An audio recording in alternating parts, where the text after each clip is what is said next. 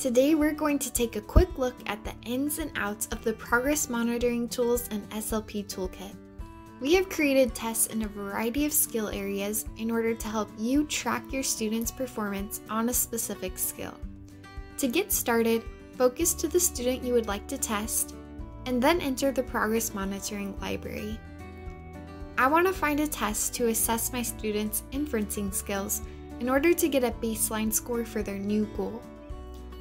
Here we have some different options to choose from, as some of the tests are leveled by grade bands.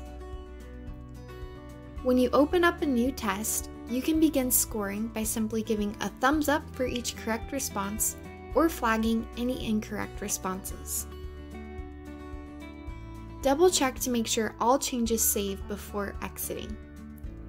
Later in the quarter, I can go back and re-administer this test in order to see progress over the course of this student's IEP.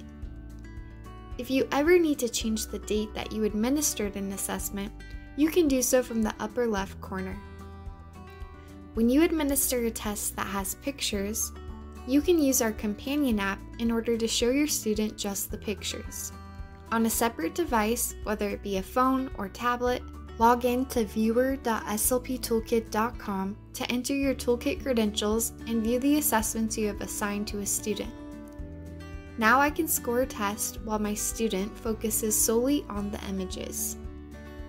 Quick tip, you can delete a test run if you don't want to save the current test state. When you do this, the test will still assign itself to the student's profile, but the date will not appear. Another neat thing is that the progress monitoring tools are all customizable. You can create a copy of an existing test and edit it to your liking, or create a brand new test from scratch.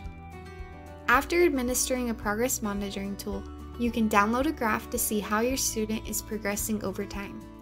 It's that quick and easy, so get ready to save yourself during progress report time and get testing today.